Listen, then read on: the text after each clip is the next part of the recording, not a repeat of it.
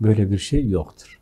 Bu hayal kurmaktır. Bu kendi kendine düş görmektir. Rüya değil, düş görmektir. Yani böyle düşünür düşünür, düşündüklerini görür.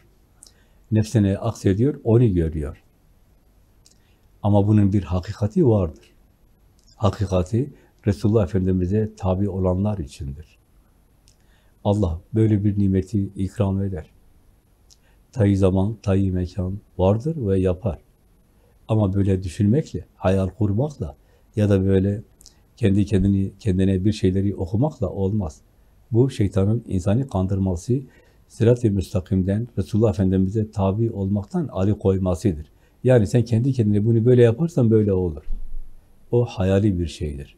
O bir zan. Nasıl insan rüya görüyorsa, aynı şekilde öyle rüyalar görebilir. Ona ne diyor? Asrat, seyahat, böyle saçma sapan şeyler. Şeytanın gayesi Allah'a kul olmasın, Rabbini zikretmesin, onun yolunda yürümesin, ona dost olmasın. Allah'ın ikramına, keremine, keramete yani layık olmasın.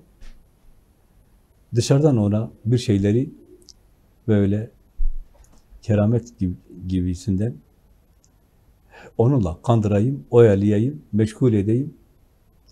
Allah'tan da ali koyayım. Kendi kendime yaptım, bunu şöyle yaptım, şöyle oldu dedirtmek için yapıyor. Orada sadece şeytanın hilesi vardır, şeytanın fitnesi vardır. Kulü Allah'tan ayırması, ibadetten, abdiyetten, kulluktan uzaklaştırması vardır. Onun için böyle fikirlere, düşüncelere katılmıyor. Bununla beraber hepsini reddediyoruz. Onun için böyle görüyoruz. Böyle sosyal medyada tabiri caizse böyle soytarılar çıkıyor. Kendine göre bir şeyler anlatıyor. Şunu şöyle yaparsan böyle olur, şunu şu kadar okursan şöyle olur. Böyle özellikle yeni böyle buluğa ermiş, daha hakikati bulamamış, Rabbini arayan kulları hedef alıyorlar. Bunu yapanların çoğu da bilmeden yapıyor onu. Tabii ki onların da bir gayesi vardır, bir amacı vardır. Dertleri bir şey öğretmek değildir. Bir şey kazandırmak değildir. Kendine göre dünyevi dertleri vardır.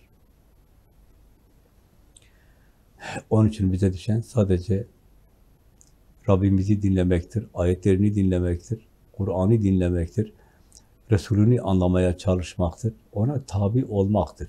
Bütün nimetler böyle kazanılır. Bu hakiki ve gerçek nimetlerdir. Öteki vehim, zan, rüya, hayal. Onun için bütün kardeşlerimizin söyledim biraz önce, böyle soytarıları dinlememesi, ciddiye almamaları gerekir. Hepsi yol kesiyor. Hepsini şeytan kullanıyor, iblis kullanıyor. Bu, onun için bütün peygamberler, Hazreti Adem dahil,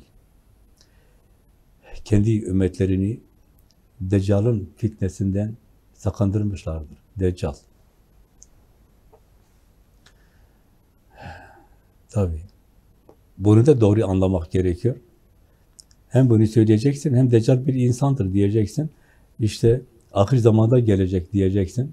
İşte şöyle şöyle kerametleri var, şöyle halleri var diyeceksin. Belki hepsi sakındırdıysa her zaman olması gerekir bunun. Allah'tan başka kim neye davet ediyorsa orada Deccal'ın işi vardır.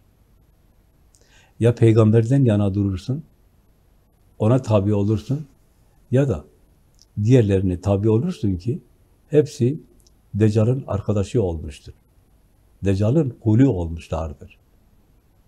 Şeytanın kulü olmuşlardır. Onun için Allah ne dediyse o.